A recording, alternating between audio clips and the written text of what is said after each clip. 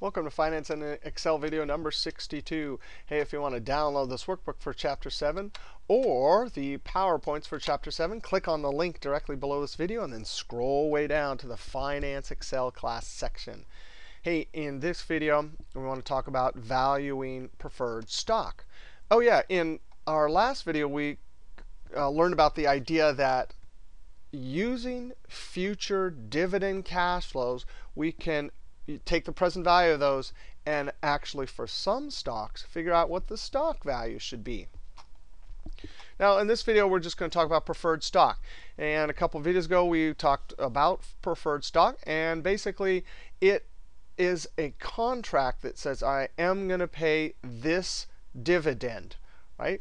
Now, we can use this model we're going to develop. But again, stock still has some uh, is not as certain, the future cash flows are not as certain as a debt contract. Because although the preferred stock says, yeah, I'm going to pay you this $5 dividend each year, it still takes a vote by the board of directors to actually um, declare that dividend. So there is some uh, um, there's there's less predictability with the cash flows for preferred stock. All right, so we already know uh, about this uh, we saw a perpetuity formula back in, I think, chapter 5.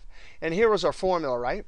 We This PMT is going to be exactly the same uh, each period. And what we said was, since stocks are presumably forever, then that means the time right here would be some number approaching infinity or whatever.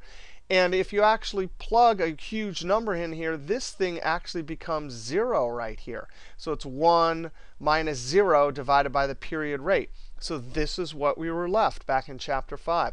Well, for us, in I'll go to my next slide right here. Here's the notation we'll use in this chapter.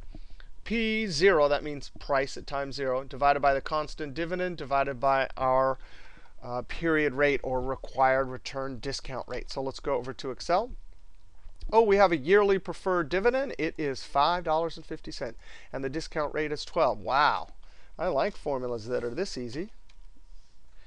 Our dividend divided by our discount rate. Um, this is n equal to 1. So boom, our stock is 45.83. And anytime you're using a stock valuation model, what are you doing? You're trying to predict the price.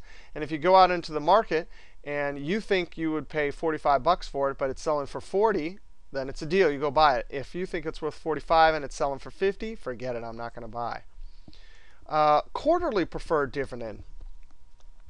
I'm simply going to take that quarterly preferred dividend, 50 cents, and divide it by, in parentheses, 10% divided by 4, because we have to get our period rate. And ding, ding, ding. So I'm willing to pay 20 bucks for that stock. All right, that's a quick video about preferred stock. Uh, next video, we'll see what happens when we can assume that the dividend will, will grow at a constant rate. See you next video.